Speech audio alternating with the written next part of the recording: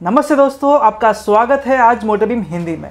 क्या आप जानते हैं कि एन एस और पल्सर एन एस में बी एस अपडेट के बाद पावर बढ़ाई गई है और पल्सर आर एस में एबीएस भी अपग्रेड किया गया है। शुरू करने से पहले मोटरबीम हिंदी को ज़रूर सब्सक्राइब करें और बेल आइकन दबाना न भूलें।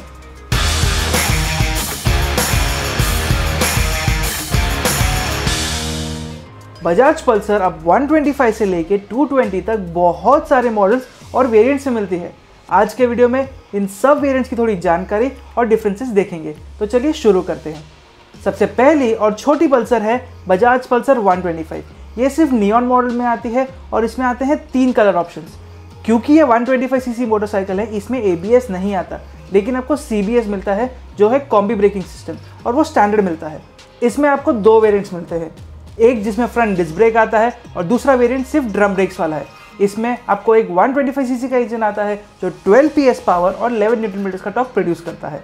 अगली है पल्सर 150 इसमें टोटल तीन वेरिएंट्स आते हैं। सभी वेरिएंट्स में आपको सिंगल चैनल एबीएस स्टैंडर्ड मिलता है।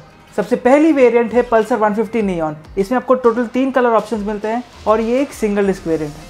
दूसरी है पल्सर 150 स्टैंडर्ड ये भी एक सिंगल डिस्क वेरिएंट है और इसमें आपको थोड़े अलग कलर ऑप्शन मिलते हैं, लेकिन आपको सिर्फ़ दो ही कलर्स मिलते हैं, जो है रेड और ग्रे तीसरी है पल्सर 150 ट्विन डिस्क ये वेरियंट में आपको ट्विन डिस्क मिलेगी, लेकिन सिंगल चैनल एबीएस ही मिलेगा। और इसमें स्प्लिट सीट मिलती है, लेकिन आपको दो कलर ऑप्शन ही मिलते हैं, जो है रेड और ब्लू ये सारी पल्सर 150 में आपको सेम इंजन आता है, जो है 149 सीसी का बी इंजन और ये 14 पीएस पावर और 13.25 न्यूटन का टॉक प्रोड्यूस करता है।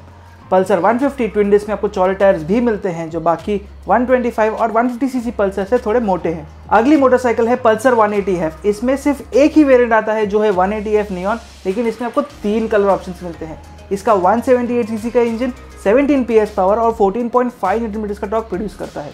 इसमें ड्यूअल डिस्क आती है, लेकिन आपको सिंगल चैनल एबीएस ही मिलता है। अगर आपको सेमी फेयरिंग वाली एक सिंपल मोटरसाइकिल चाहिए तो 180F सबसे ईजिएस्ट ऑप्शन है। अगली सेमी फेयरिंग वाली पल्सर है पल्सर 220F ये बजाज की सबसे आइकॉनिक पल्सर है और काफ़ी सालों से सेल पे भी है।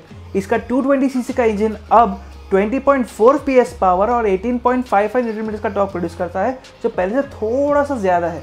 इसमें कोई स्पेशल वेरिएंट्स नहीं आते, लेकिन दो कलर ऑप्शंस आते हैं, जो है ब्लू और रेड ड्यूअल डिस्क के साथ आती है ये मोटरसाइकिल लेकिन इसमें भी सिर्फ़ सिंगल चैनल एबीएस दिया गया है, जो स्टैंडर्ड है।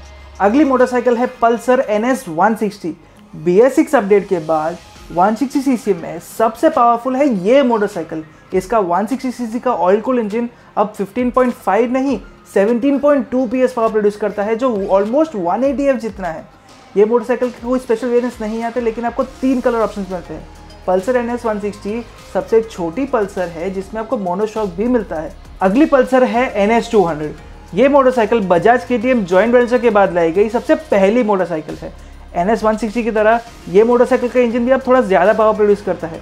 ये मोटरसाइकिल एन एस से थोड़े बड़े ब्रेक के साथ आती है, लेकिन फिर भी इसमें सिंगल चैनल एबीएस ही मिलता है। कोई स्पेशल वेरियंट्स नहीं आते, लेकिन आपको ड्यूअल टोन में चार कलर ऑप्शंस मिलते हैं। अगर हम पावर आउटपुट की बात करें तो ये motorcycle N S two hundred 24.5 PS power और 18.5 न्यूटन मीटर का टॉक प्रोड्यूस करती है, जो पहले से बढ़ चुका है, और ये पल्सर आर एस जितना ही है। अगर हम पल्सर आर एस की बात करें तो ये top of the line Pulsar है और ये अकेली पल्सर है जो ड्यूअल चैनल एबीएस के साथ भी आती है। पल्सर आर एस भी एक लौती पल्सर है जो फुल फेयरिंग के साथ आती है और ये सबसे महँगी भी है। इसका इंजन सेम पावर प्रोड्यूस करता है बट टॉर्क थोड़ा सा ज़्यादा है जो है 18.7 न्यूटन मीटर्स का। अगर हम सारी पल्सर की स्टाइलिंग कंपेयर करें तो पल्सर 125 और 150 पुरानी पल्सर की स्टाइलिंग के साथ आती है। पल्सर 180F और 220F फेड मोटरसाइकिल है सेमी फेड मोटरसाइकिल है, जो 220F की स्टाइलिंग के साथ मैच करती है। वन सिक्सटी और एन एस टू हंड्रेड की स्टाइलिंग के साथ मैच करती है, जो नेकेड स्पोर्टी है, और टू हंड्रेड फुल फेड है। पल्सर 125 को छोड़ के बाकी सारी पल्सर्स एफ़ के साथ स्टैंडर्ड मिलती है, और ये रही इन सभी की प्राइस लिस्ट